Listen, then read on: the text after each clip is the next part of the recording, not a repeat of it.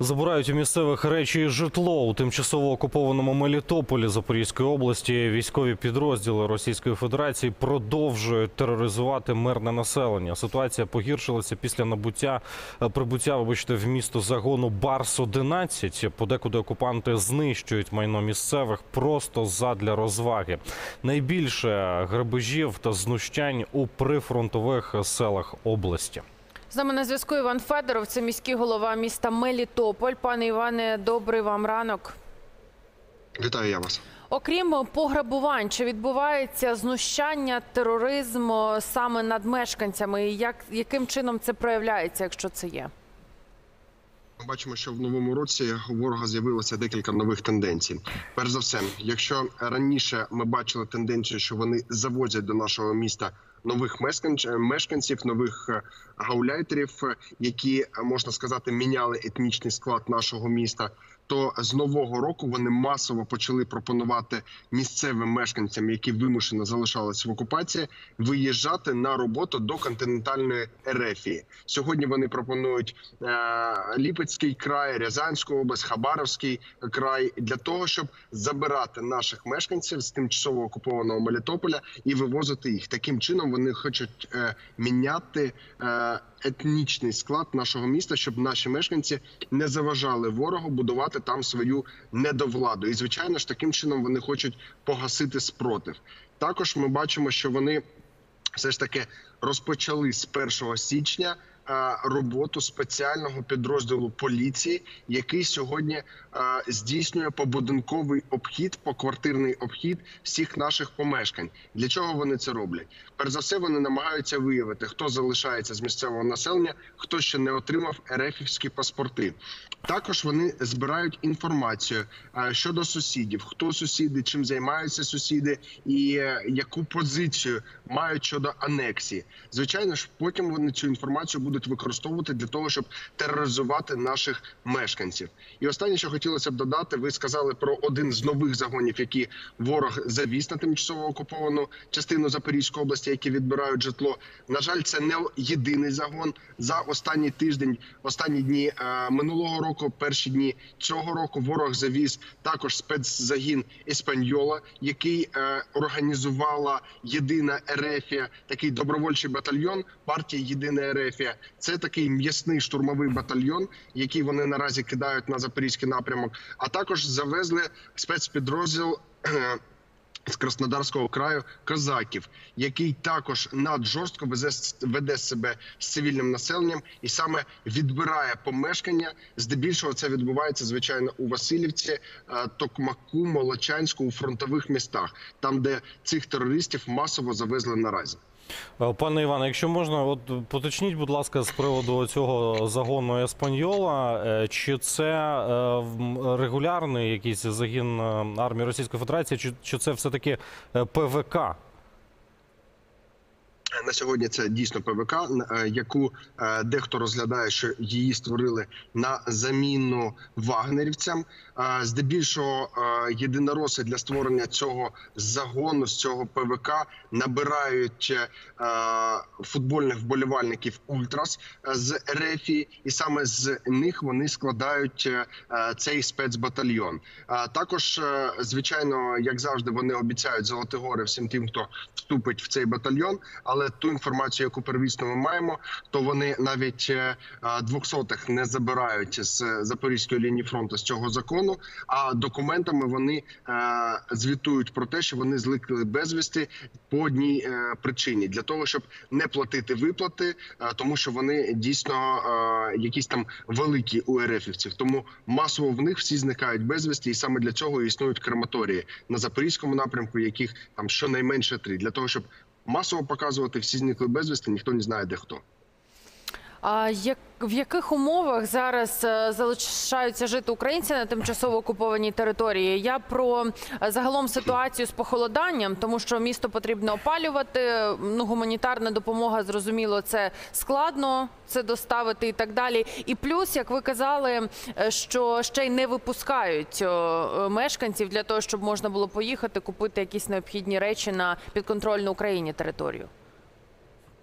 На сьогодні ми бачимо в частині комунальної сфери найбільшу проблему це проблема з питною водою. Е, На 70% тимчасово окупованої Запорізької області е, постачання питної води е, нормальної якості не існує. Це сталося після того, як ворог здійснив терористичний акт на Каховський ГЕС. Саме тому сьогодні є така велика проблема. Що стосується опалення, сьогодні ми не чуємо перебої там, де є централізоване опалення, але ми постійно чуємо, що є проблеми з електропостачанням. А як слідство із опаленням з водопостачанням, це здебільшого через те, що висококваліфіковані кадри всі масово виїхали з тимчасово окупованої території. Тож на відновлення електричних мереж, водних мереж йдеться не години, як це раніше, а йдеться щонайменше декілька діб. Саме тому в цьому є проблема. Що стосується виїзду, дійсно проблема не знята. Навпаки, вона збільшується. Ворог вимагає як звичайний паспорт, так і закордонний паспорт для виїзду до кордо... е, для виїзду з тимчасово окупованої території. Для його оформлення звичайно потрібно ще більше документів здавати. Також ворог посилив наразі мобілізацію. Вони е, з одного боку збільшили вік щодо мобілізованих з 27 до 30. Тепер е, підлягають цій мобілізації. А також з 17 років масово всіх ставлять на військовий облік. Тож що ворог наразі робить з мобілізацією? Вони складають реєстр тих, е, хто має бути військово зобов'язаним і хто має вступати до лав е, збройних сил ворога. Саме тому сьогодні наші мешканці і шукають для себе порятунок в частині виїзду і е, вимушено оформлюють всі документи, аби аби лише виїхати з тимчасової окупації. А це ж виходить, якщо 17-річні, це ну фактично школярі-випускники. Яким чином е, їхній облік е, здійснюють окупанти? Вони що завезли своїх військомів е, також? Звичайно, це відставні службовці з РФ, які приїжджають сьогодні на тимчасово окуповану територію, які називають себе керівниками якихось там фейкових військоматів. А також е, вони пішли далі. Сьогодні на кожному підприємстві, сьогодні в кожному соціальному закладі є військовий стіл. Будь-яке підприємство, в якому більш ніж декілька співробітників мають організувати військовий стіл і військовий облік і подавати абсолютно всіх, е, хто працює на підприємстві, для того, щоб масово ставити на обліку військомат. Також ми бачимо тенденцію, що ставлять на облік навіть лікарів. І навіть співробітників будь-яких комунальних підприємств саме тому ворог сьогодні масово на- е, насичує базу мобілізованих для того, щоб потім відправляти їх е, на лінії фронту. І вже перші зрадники поїхали. Ті, хто були зрадниками е, нашої держави і встали в ряд окупаційної поліції, вже на запорізькій лінії фронту, і вже дехто не повернувся і не повернеться ніколи.